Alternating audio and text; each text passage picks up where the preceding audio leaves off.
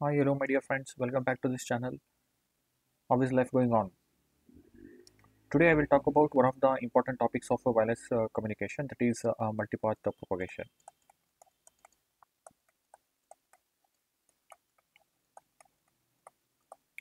So, here I will start with uh, uh, of uh, wired communication and uh, wireless communication uh, differences, and from there on, I will pick on the concepts related to multipath propagation.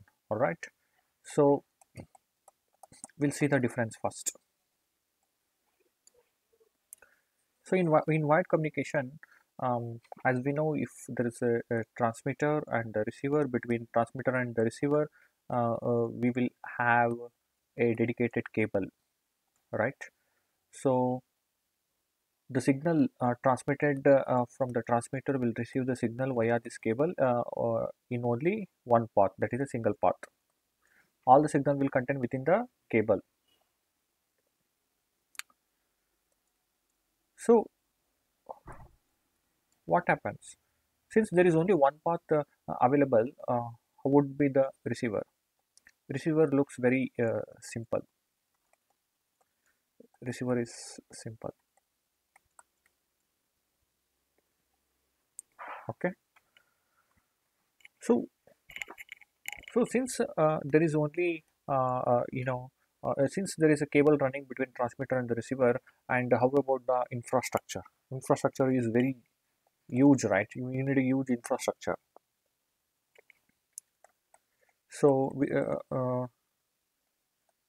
so this makes the system very costly and a lot of maintenance is required. So now, now let us come to uh, uh, wireless uh, uh, communication systems. So in this, the signal is transmitted from the transmitter to the uh, receiver uh, over the air. Uh, the signal will travel in multiple directions and it will reach the receiver. Correct. So here we will have multipath.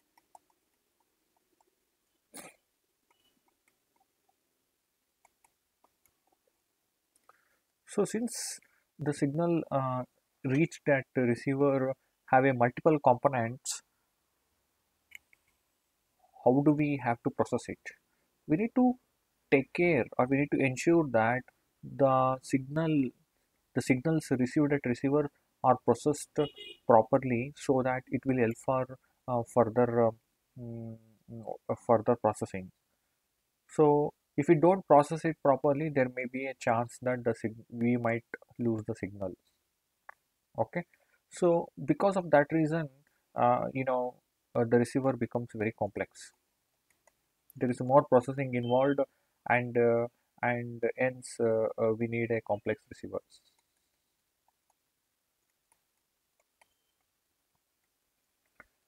Of course, infrastructure wise, compared to wired communication, it is pretty much uh, simple and uh, it could lead to less cost. But uh, there are many other challenges related to uh, related to uh, wireless communication. Uh, so if we can overcome those uh, challenges, okay, uh, by processing the uh, signal very efficiently, then we can get uh, much much uh, uh, bigger benefit uh, in case of wireless communication. So these things we will see in the upcoming videos. But uh, for now, uh, we will focus on in this video. We will focus on uh, the multipath uh, thing. Okay. So now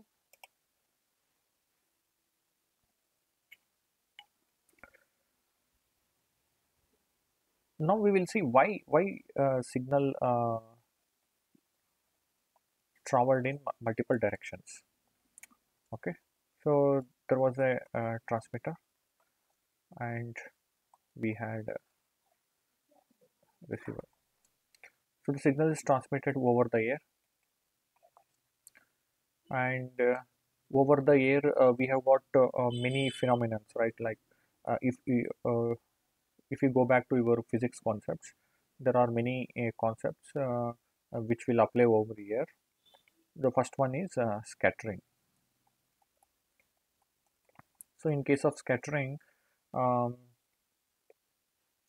the signal uh, when when the signal hits uh, a particle okay let's say this is a particle the, let's say the signal is transmitted and it hit the particle and from that particle the signal would travel uh, in multiple directions.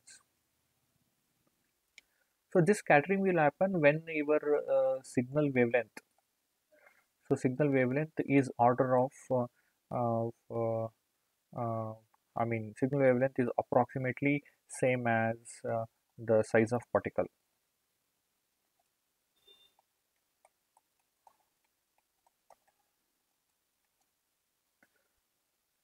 So uh, so uh, so what happens let's say this is the hmm, like uh, signal with power p but after uh, hitting the particle when the signal scatters uh, there is some uh, reduction in the power okay let's say here for time being it is mm, p by 3 p by 3 p by 3 so then this signal would continue and it will hit another particle. Let's say it has transmitted in uh, multiple directions. And like that it will it will reach. This is one of the path path of the signal which has reached receiver. This is happening because of scattering.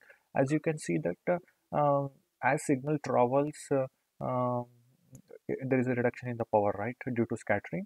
And uh, uh that that relation we can bring it with the path loss as well. So but for now one of the component is one of the factors which is resulting in multiple directions is the scattering. Okay? So let's say this is path number one now here in scattering I want to mention one more thing. That is uh, um, I was mentioning that uh, signal wavelength should be uh, having you know the size which is equivalent to the size of the particle. Now now let us say uh, usually the, what is the size of the particle? It's very very small right? Very small. So very small means uh, it could be uh, in in in in centimeters or it would be in millimeters. So if uh, your wavelength is uh, very high then uh, then then what happens to scattering?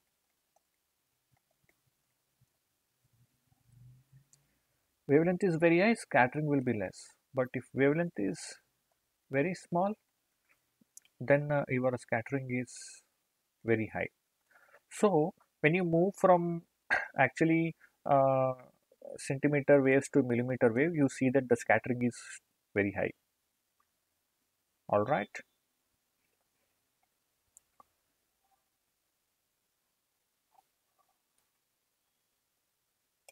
The second concept which I want to talk uh, over here is uh, the reflection. So between the transmitter and the receiver, okay, let, let me go back to the uh, same uh, picture. Uh, let's say you encounter one kind of uh, reflector over here. So let's say signal transmitted in this direction and it hit the surface and it reflected back and reached the receiver. So here also there will be some loss of, of power there could be some absorption uh, and then there is a, a, reflector because reflectors need not be a idealistic reflector where whatever signal uh, with power p is coming uh, the same power will be reflected it will be usually like if the power p is uh, hitting the surface then it would be a p dash less than p okay some absorption will be there and hence uh, uh, we will uh, see a little bit less power over less power at the receiver. So what about the third concept which is diffraction.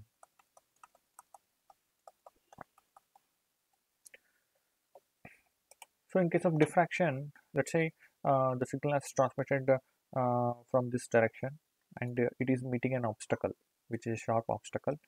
So it hits the obstacle and the actually the signal is supposed to uh, uh, travel in this way but because of obstacle uh, the signal has got diffracted and reached the receiver in this direction. So this is another phenomena where uh, uh, you know you will see that uh, there could be a multiple uh, component of the signal.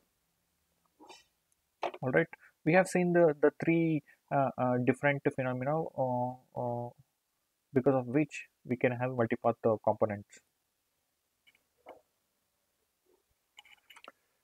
Now i want to talk about a couple of basic concepts in order to you know model the signal which is received at the receiver. Okay? So the, the first basic concept is uh, uh, the path loss so path loss um, as I was telling in scattering also we will lose some in reflection in diffraction also uh, we will in all these cases we will lose some amount of uh, uh some amount of power. Okay but uh, uh, these uh, this reduction in the formula uh, has been uh, modeled has been modeled. And we see that if we if we go through the equation of path loss you will see that the path loss is directly related to d by lambda. Okay? So which means if the signal travels more distance there could be more scattering and because of which uh, there is uh, more path loss or let's say if we have uh, the signal with uh, uh, wavelength uh, with certain wavelength. So let's say if wavelength is going too low maybe from meters to centimeters to millimeters then we will see that the path loss is very high. Or in other words if we talk about frequency if we are going from just megahertz uh, to gigahertz to uh, uh, you know greater than 30 gigahertz of like that then then we will see that uh, there is a uh, so here uh, the frequency is increasing your path loss will increase. All right. So if we take the equation we, we will see uh, we, uh, i mean how this is uh, incorporated in the equation but right now you got the concept that if the signal travels a longer distance you will see the path loss okay? The second thing which I want to explain uh, is the delay. Because between the transmitter and the receiver uh, if uh, the signal is uh, uh, you know traveling a, a, longer distance which means uh, it has it will be reaching little late correct so the signal uh, this one might uh, um, reach T naught, this one might reach uh, T1 is equal to T naught plus delta, this one actually might reach T2 is equal to um, T1 plus delta. Okay. So there is a, a there is a different delay which is uh, which should be applied to each of the multipath components. So then what do we say about the signal received at uh, the receiver?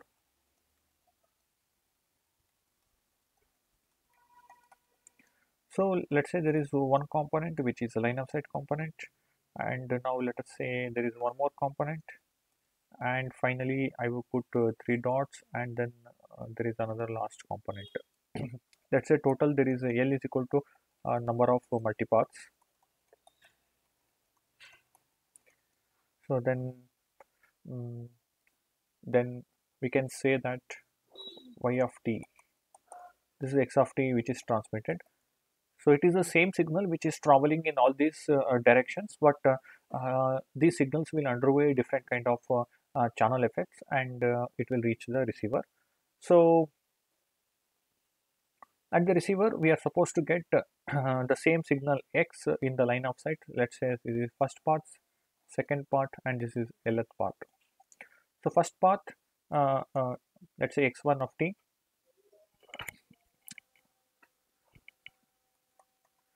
Plus uh, uh, uh x2 of t plus xl of t. So uh, what about x1 x1 let's say it has it has undergone some attenuation and it is a naught. Uh, a naught uh, corresponds to I would say uh, AI corresponds to amplitude. Amplitude of the signal. So now this is x of t minus tau 0 so th these are all delays now plus. X2 which is uh,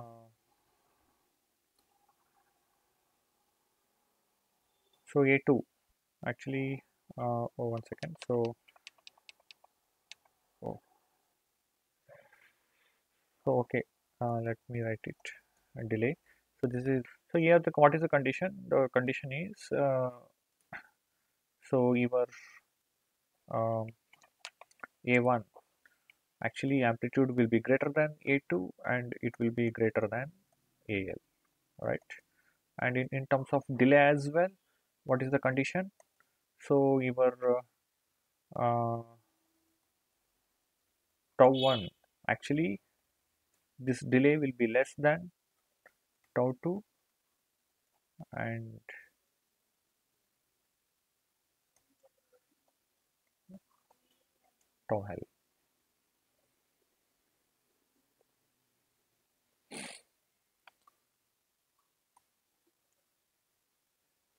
So I hope uh, this is uh, uh clear. Uh, I mean in terms of uh, DAG, in terms of I want to just show in terms of uh, some um, diagram so this is let's say time. This is let's say amplitude. Okay? So this is let's say the reference point. So the first component received at uh, uh, which is uh, tau 1 right? At tau 1 if you see it, there is a signal with the greater amplitude a1 then at uh, tau 2 so tau 2 is late and here if you see uh, this is a2 then finally we will have al at tau l if you see you know the signal amplitude is getting reduced as and when it travels a longer distance. And uh, and also like as and when it travels longer distance you will see that uh, the delay is also increasing. With this I want to stop in the upcoming video. I will talk about one of the effects of multipath. So multipath will lead to a, a, a important concept in uh, uh, wireless communication that is called fading which is a multipath fading. We'll talk about uh, fading in the upcoming video.